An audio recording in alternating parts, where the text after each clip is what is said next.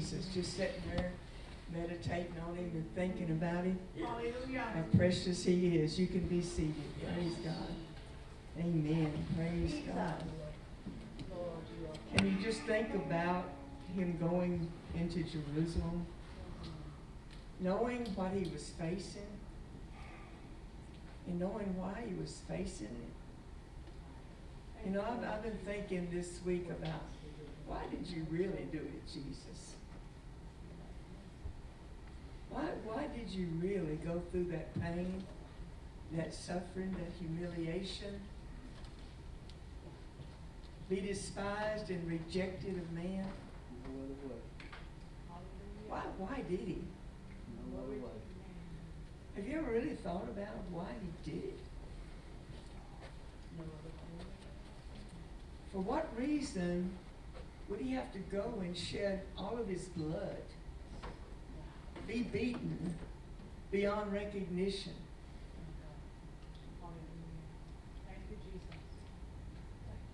Pain beyond compare?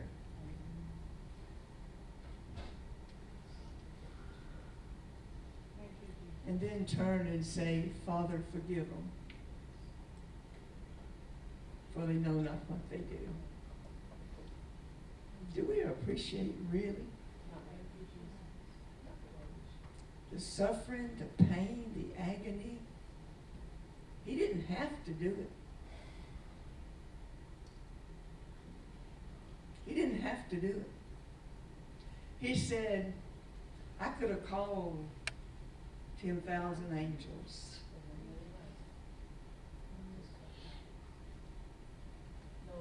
And we complain. Yes. Hallelujah. Help us, Lord. When he did it for us,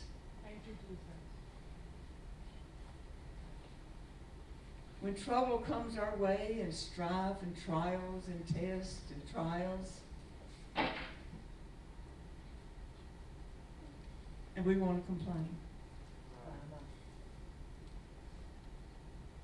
When he said, You're not taking my life, I'm willingly giving it.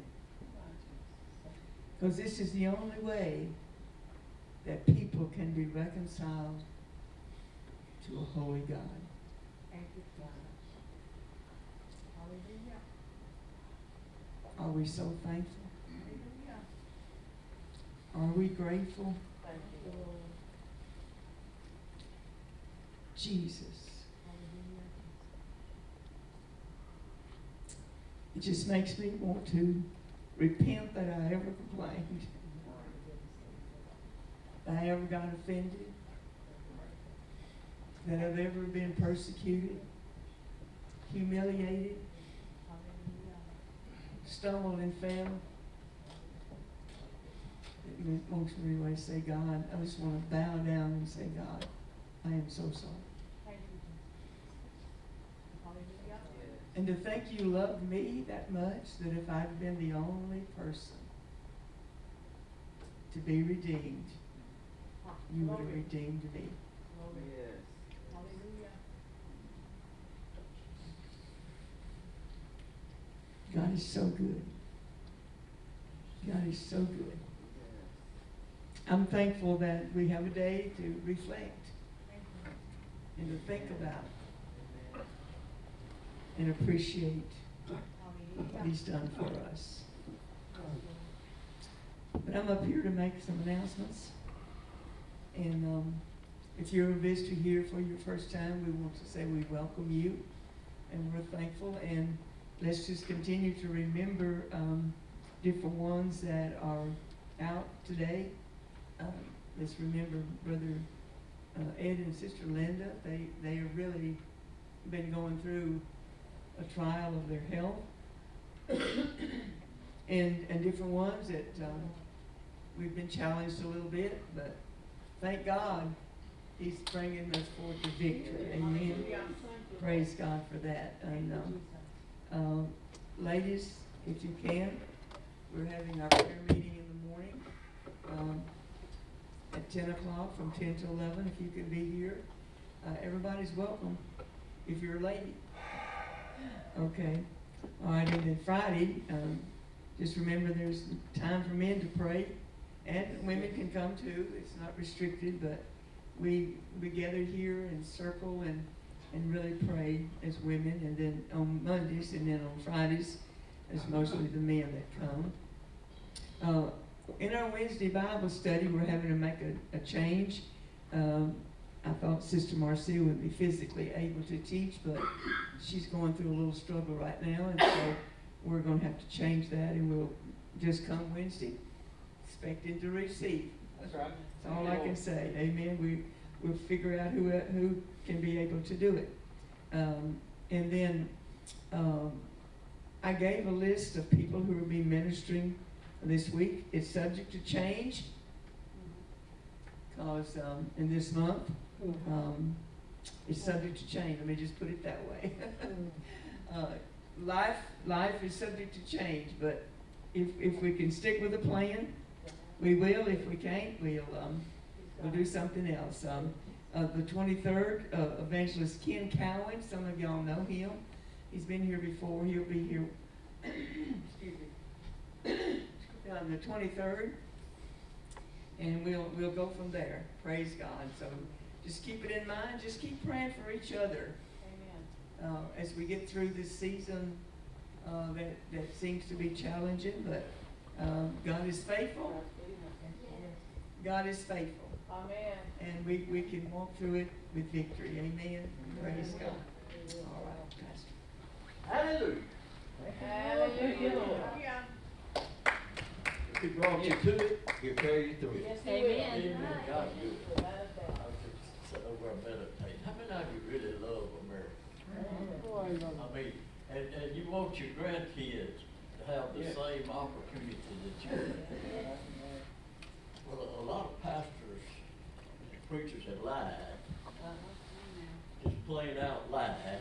They've told their congregation, don't get involved in politics. That's a lie. I had a pastor tell me when I first got saved and, and joined the church, he met with, he said, you'll have to get out of the Army National Guard because you can't be a Christian in there. I said, if I can't be a Christian in there, I, don't, I can't be a Christian nowhere. Right. And I had more fun for thirty-eight years witnessing for the Lord than I did anything else. Right. I want to talk to you, get involved in who we vote for. That's right. Because I tell you, Russia is not our enemy. China is not our enemy. I'm talking to Brother Randy. And, and, and all them foreign countries is not our enemy. You know who our enemies? Our own self. Even President Biden, not our enemy. Uh, The ones that put him in there. Look, we've got to have a change. They're trying to get one world money. If you haven't been watching the news, you don't know what's going on, and then when it happens, you cry like a baby. You- You've got to know what's going on where you'll know who to vote for. That's right. Pastor Dorothy, uh, uh, teaches the, the best message on abortion that I've ever heard. I'm trying to get her to write a book, I told her I'll pay for it. Look, people need to hear that. I mean, I mean, if you don't hear it, you don't know what's going on. I don't mean, and sure, we, the only change we got. It's, it's- it's, it's sort of like, uh, a meeting with the ministerial group. And, uh, there's more cancer victims in this county here than there's anywhere else, or it was, I'm pretty sure. I, I said, look, do y'all ever say anything about people smoking? I said, everybody you see got a cigarette in their mouth. I said, no, Lord, no, we'll lose half our congregation. But they, they'll have an answer for that. And church, listen, we need to vote for people that what we believe. I mean, we need to look at the list of what they're saying. You say, you'll not be doing it, you'll probably lose. I don't care. We got to win our country back for our grandkids. And so, look the information up and let's pass it around to each other, what we find out about the politics that's running, where we'll know who to vote for. Amen? Amen. If we vote right, That's right. we can change this. And so bow your heads real quick. I want you to help me pray for President Trump. Amen. Yes. Got quiet in here. Listen, he, the only reason I vote for